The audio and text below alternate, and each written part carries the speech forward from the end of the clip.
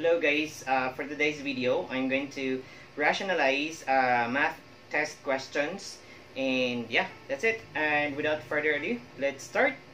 Okay, so number one, uh, how many multiples of 8 are there between 30 and 90? So ano yung, when I say multiples, these are numbers, uh, multiples of 8. When I said, when I say multiples, these are numbers uh, which uh, 8 can divide from uh, between 30 and uh, to 90. So we have here 32, and next one we have 40, 48, and then 56, 64, 72, 80, and 88. Okay, so how many of them? So we have 8. Okay, so there are 8. There are 8 numbers between 30 and 90, which are multiples of uh, 8. Okay, so there we go. Next one. Next one we have here, if x plus y is equal to 17, then x plus y squared is equal to what? Okay, so this one, x plus y is equal to 17. So what is x plus y squared? Since this one, as you can see, it was uh, it is just squared here, so that means we'll just have to have uh, 17 squared also. Now, 17 squared, this is equal to x plus y squared. That is uh, 189. Okay, so there you go. The answer is 100. Uh, no, sorry, sorry. It's 289. I'm sorry. There you go. Next one. Uh, we have number 3. If x minus y squared is equal to 49, what is x squared minus 2xy plus y squared? Okay. So as you can see here, it says there that x minus y squared is equal to 49. And what is x squared minus 2xy plus y squared? Okay, so this is equal to how much? As you can see here, if you're going to expand this one using the, uh, what's this? The special products, okay? So this one expand is expanded into this. So that means, since this one are just equal, these two are just equal, so that means this is also 49, okay? So let's see, let's expand this one if it's really equal to this, okay? So x minus y uh, squared, this is equal to x minus y times x minus y. Okay, so there we go. We can have a FOIL method. Okay, FOIL method. We have x times x, we have x squared. x times negative y minus xy. And then negative y times x, we have minus xy also. Negative y times negative y, that is y squared. Okay, so this one are similar terms and they're all negative. So we say there are two of them. So x squared minus 2xy plus y squared, which is equal to this one, right? So that means if this one is expanded, is equal to this. So that means if this one is equal to that, 49, that means this is also equal to 49, okay? There you go. Next one.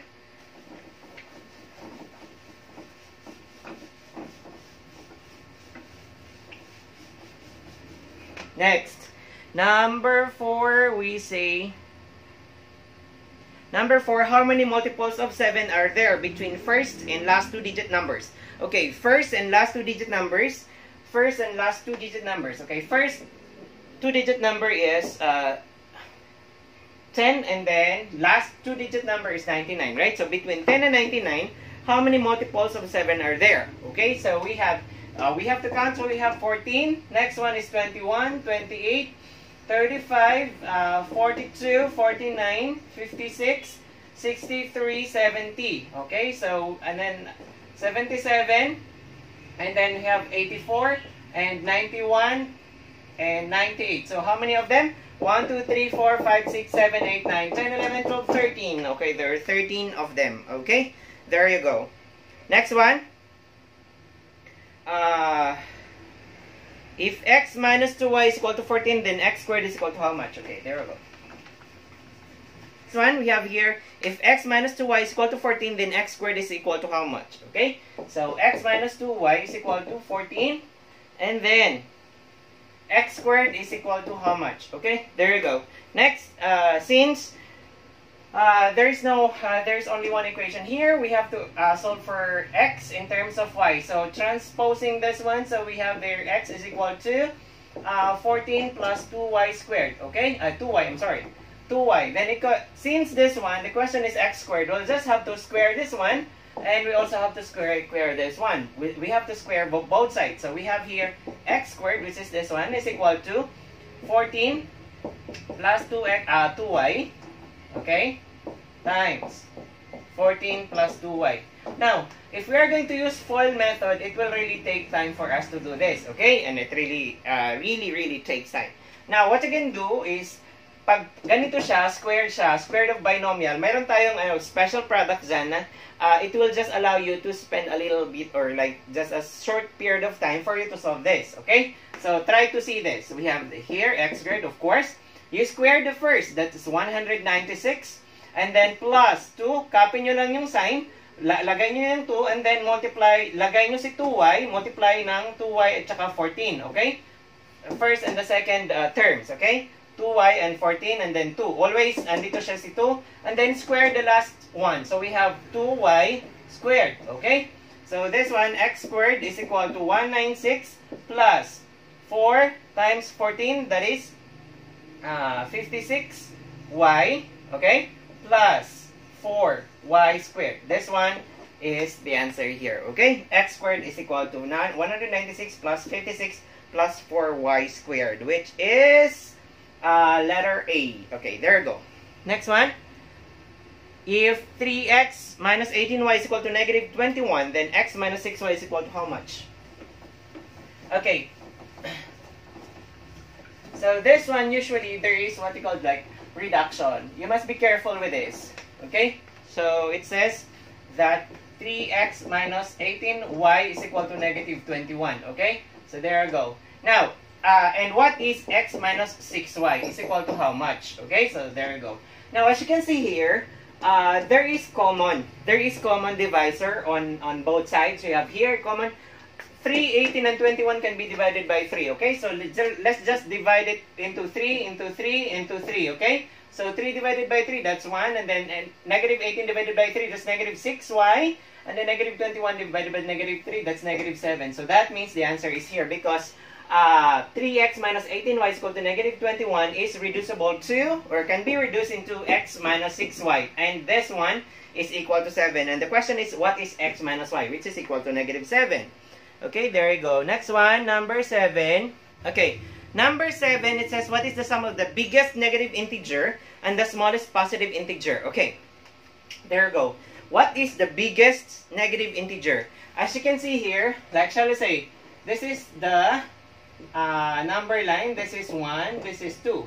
And this is negative 1, negative 2. Okay, negative numbers, the smallest one is the biggest. Okay, so as you can see here, where we can say that negative 1 is bigger than negative 2. Remember that. As you can, as you go left or far left, the number becomes smaller. Okay, the value becomes smaller. Here, from 0 up, as you go far right, the number or the value becomes bigger. Okay, so there you go. It says here that what is the sum of the biggest negative integer? The biggest negative integer is negative 1.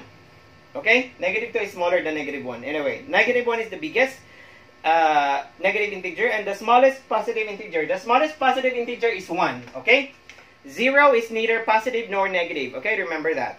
Because count uh, integers are made up of numbers or negative numbers, zero and positive numbers. Okay, so there you go. The biggest smaller, uh, the biggest negative integer which is negative one, and then the smallest positive integer which is one. Okay, and then let's get further sum. Negative 1 plus 1, that is equal to 0. So there you go, the answer there is letter A. Okay, there you go. Next one, number 8. Number 8. Number 8. If 3x plus 2y is equal to 4, then 4y squared is equal to how much? This is just the same as the other question earlier. So we have 3x plus 2y is equal to 4. What is? What is 4y squared? Okay, 4y squared is equal to how much? Okay, there you go. We'll just have to, to solve this one in terms of x. Okay, so we have 2y is equal to 4 and then transpose this. This is positive. It becomes uh, negative. Okay? So there you go. It's 3x. I'm sorry. Okay. Now, it says here that 4y squared. So we'll just have to square this one to square both sides. So squaring it, 2 squared is equal to 4. And then y squared is y squared. Okay? So this is now in the question. So that means we'll just have to expand this one. Now, remember earlier, I gave you uh, the, the, the, the easiest way for you to solve this one. Okay? Uh, square of binomial. Okay? Anong sabi ko is square the first, which is 16. Okay? 4 squared, and then copy the sign. You put 2, and then multiply all. 3x and then 4. Okay? 3x, and then uh, times 4. Okay? And then square the last. So that is plus 3x squared. Okay? So 3x, and then you square that. Okay? So there we go. We have 16. Uh, they get negative 2 times 3 times 4. That is negative 24x. Okay? 24x, and then plus 3 squared is 9 and then x squared. Okay, there we go. 4y squared is equal to 16 minus 24x plus 9x squared. Okay, there we go. Next one, number 9. We have here the sum of the first three of the 10 consecutive integers is 63. Find the sum of the last three integers. Okay, there we go. Um, this one is an example, is, one, one type of algebraic word problems. Okay, this is a number problem and then this is how you're gonna do this one. Okay, so remember, actually I have a video, video about uh, consecutive integers, consecutive positive integers, consecutive odd integers and stuff and so on like that. Okay, so there you go. So when I say 1, 2, 3, 4, this is consecutive integers. Okay, consecutive integers. Let x be the first integer. So the next integer would be x plus 1, right? If x is uh, here, 1, and then if this is our first number, so when when it's it becomes 2, we just added 1 here. So that's why we have x plus 1, okay? If our x is 1, okay? We always let the first integer as x, okay? So there one x plus 1, this one is x plus 2 because x plus 2 is equal to 3, which is 1, right? So this is how you represent, uh, and then this one is x plus 3. This is how you represent the consecutive consecutive integers, okay? Consecutive integers. This one. X, X plus 1, X plus 1. How about consecutive consecutive odd integers? Okay. Odd integers, and say odd, that's 1, 3, 5, 7, 9. Okay? So there we go. So it's 1, 3, 5, 7, and so on. Okay? So let x be the first integer. Anong, in, um, how much did we add, or I mean, how much do we add to make it 3? So we just added 2, so that means this one is x plus 2. Here, how much we added to make it 5? So we have x plus 4, okay? And then here, how much we added to make it 7? So we have x plus, uh, x plus 6, right? Okay, this is how you're going to represent consecutive odd integers. x, x plus 2, x plus 4, x plus 6, okay? How about consecutive? There are three cases actually. Consecutive even integers, okay? Integers, even integers, let's say even 2, 4, 6, 8, 9. Uh, 2, 4, 6, 8, 10, okay? And so on. So we have here, so let's say 2, and then we have 4, 6, 8, okay? So let x be the first integer. How much do we add uh, in 2 to make it 4? So we just added 2 here. So that means x, x plus 2. How much do we add from here to make it 6? So we have 4, so x plus 4. Okay? And then how much do we add here to make it 8? So we have x plus 6. Okay.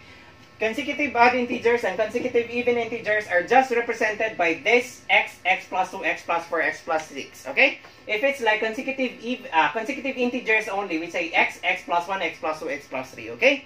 So the question is, the sum of the first three of the 10 consecutive integers. Okay? It's just say here consecutive integers. Okay? So we say x, x plus 1, x plus 2, x plus 3, x plus 4, then x plus 5, x plus 6, x plus 7, x plus 8, x plus 9. This is the first 10 integers. 1, 2, 3, 4, 5, 6, 7, 8, 9, 10. Because it says, it only says, the, the problem says uh, consecutive integers. Okay? So and it says here, the sum of the first three of the 10 consecutive integers. The sum of the first three, so ito yung first three natin. So we say x plus x plus 1 plus x plus 2. Ito yung sum ng first three. Okay? Uh, the sum of the first three of the 10 consecutive integers is 63. Okay? There we go. Next one, we just add him. Add this. We say x plus x plus x, we have 3x. And then plus 1 plus 2, that is 3, is equal to 63. Okay? There you go. And then 3x, transpose this 3 on the other side, we say that 63 minus 3. It becomes minus. And then 3x is equal to uh, 60. Divided by 3, since we are solving for x, divided by 3. So our answer, 60 divided by 3, x is equal to 20. Okay? There you go. Now, our first integer is 20. It says here in the question, find the sum of the last three integers. Okay? So if this is 20, this is 21, 22, 23, 24, 25, 26, 27, 28, 29. And it says here we have to get the sum of the last three, okay? So there you go. If we are going to get the sum of this one, we have 84. Okay, 27 plus 28 plus 29, that is 84. Okay, there you go. Next one, number 10, we say, um, number 10. I hope you, you, you get it.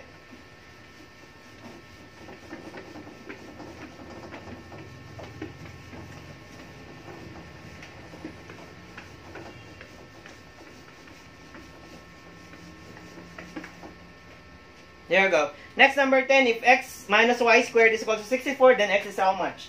Okay, it says here, if x minus y squared is equal to 64, x is how much? Okay, x is equal to how much? Okay, there you go. Now, since this one is just squared and this one is a perfect square, we'll just have to take the square root and then take the square root of this plus minus. Okay, there you go. Always plus minus kasi we have two square roots of, ano, if we're gonna square numbers, we have the negative and the positive numbers, yung square niya naging positive perfect square, okay? There you go. So, that's why we have here, uh, x minus y is equal to positive negative 8, okay? So, and it says here how much is x? Then, we'll just have to solve this one. The x in terms of y, we have x is equal to positive, ano, y, this, this negative y becomes positive, so that's our positive here, plus minus 8. So x, there are two values of x, y plus 8, and then x, the other x would be, this is 1 and 2, y minus 8, okay? There you go. And in the choices, we only have y plus 8, so the answer is letter D, okay? So I hope this one helps you guys. Uh, don't forget to subscribe and uh, tick the bell for uh, notification of my future videos. And uh, don't forget to share this video. Uh, bye-bye.